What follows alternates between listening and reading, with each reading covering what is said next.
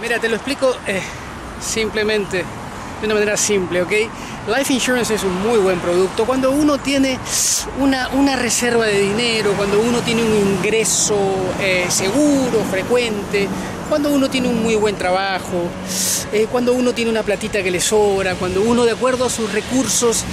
ya tiene todo el dinero invertido y, y sabe que puede pagar este, este producto que es el seguro de vida, Life Insurance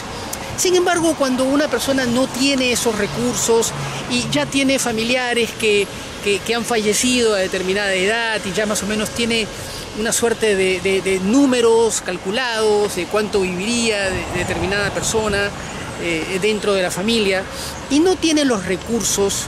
este, eh, eh, suficientes como para pagar un life insurance, un whole insurance, un whole life en este caso,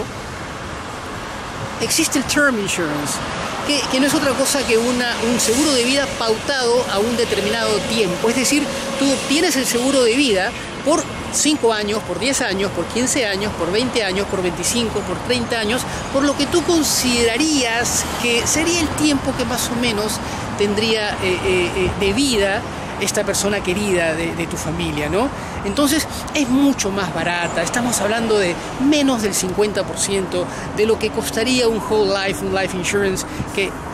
un seguro de vida en, términos propiamente dichos, digamos, ¿no? Este es el term insurance.